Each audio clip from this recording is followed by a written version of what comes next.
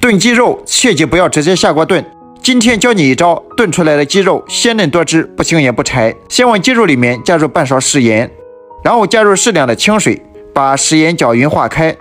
把鸡肉放盐水里面浸泡十分钟，这样鸡肉会变得更软，鸡肉会更容易熟，而且口感会更好。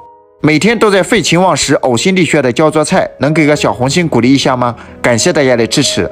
我们看一下泡出来很多的血水和脏东西，然后再用流动的清水冲洗干净。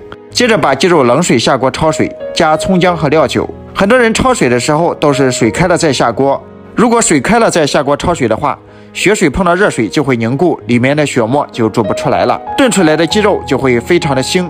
所以一定要冷水下锅焯水，用勺子把煮出的血沫撇出去，然后捞出冲洗干净放入盆中，然后拿出这个七彩菌汤包。我老婆说我工作太辛苦了，所以让我每个月都给她炖几次鸡汤喝。加入冷水，放在冷水里泡一个小时。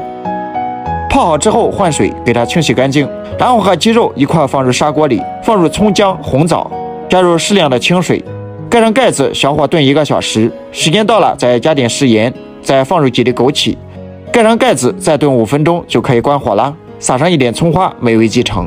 这样炖出来的鸡肉。鲜嫩多汁，不腥也不柴，汤也是非常的鲜美好喝，做法也很简单。好了，我们下期视频再见。